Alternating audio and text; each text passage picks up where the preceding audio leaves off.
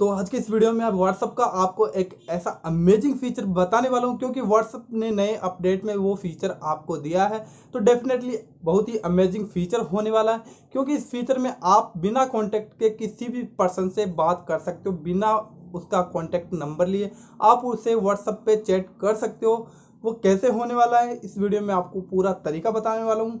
Fully detail से ये video मैं आपके लिए लेके आया हूँ तो आपको पूरा वीडियो ज़रूर देखना है। अगर आप इस फीचर को जानना चाहते हो, इस फीचर का फ़ायदा उठाना चाहते हो, अगर आप किसी को अपना बिना कॉन्टैक्ट नंबर दिए उसे बात करना चाहते हो, या फिर आप नहीं चाहते कि ये इस व्यक्ति के पास मेरा कॉन्टैक्ट नंबर जाए, क्योंकि अगर उसके पास आपका कॉन्टैक्ट नंबर वगैरह होगा तो आपको कॉल वगैरह भी कर सकता है। तो इसका इसको देखते हुए व्हाट्सएप ने इस फीचर को लॉन्च किया है, जिसे आप बिना उसका कॉन्टेक्ट नंबर दिए या फिर किसी का कॉन्टेक्ट नंबर बिना लिए आप उस पर्सन से व्हाट्सएप पे चैट कर सकते हो वीडियो कॉलिंग कर सकते हो वीडियो कॉल कर सकते हो।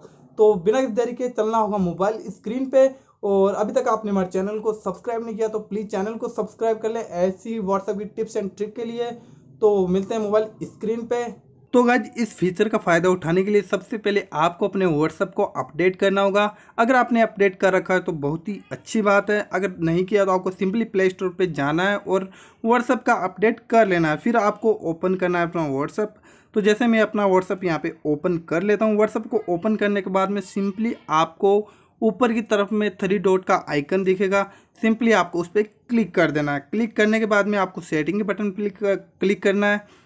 उसके बाद में आपको यहाँ पे ऑप्शंस दिखेगा, आपकी प्रोफ़ाइल फ़ोटो दिखेगी, उसके सामने आपका नाम दिखेगा। नाम के सामने आपको यहाँ पे एक आइकन दिख रहा होगा स्कैन का सा आइकन है, जो मैंने यहाँ पे टिक करके आप को दिखा रखा है। इस पर आपको क्लिक कर देना है। तो सिंपली मैं इस पर क्लिक कर देता हूँ। इस पर क्लिक करने के बाद में आपको यहाँ पे माई कोड का एक ऑप्शन मिलेगा और आपके सामने ऐसा एक पिक्चर शो होगा। तो आप देख पा रहे हो स्क्रीन पे, ये एक क्यूआर कोड स्कैन हो चुका है। तो इसको करना क्या है? आप अगर किसी व्यक्ति को अपना नंबर वगैरह नहीं देना चाहते हो तो सिंपली आप उसे ये स्क्रीनशॉट भेज सकते हो, या फिर वो डायरेक्टली आपके फ़ोन में इसे स्कैन करके आपसे कांटेक्ट हो सकता है, आपसे चैट कर सकता है। तो अगर आप भी किसी दूसरे पर्सन का स्कैन करना चाहो तो आपको सिंपली माई कोड के आगे जो स्कैन कोड है, इस पर क्लिक कर देना है। क्लिक करने के बाद में आपको कुछ ऐसा इंटरफेस यहाँ पे देखने को मिलेगा। यहाँ पे आप दूसरे का क्यू आर कोड स्कैन कर सकते हो। अगर आप किसी का दूसरे का स्कैन करते हो तो सिंपली आप उससे जुड़ पाओगे बिना कांटेक्ट के।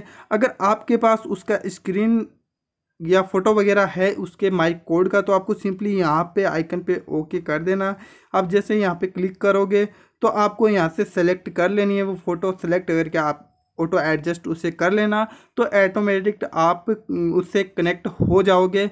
और आप उससे चैट वगैरह कर पाओगे। तो मैं इसको आपको सिंपली करके दिखा देता हूँ एक बार।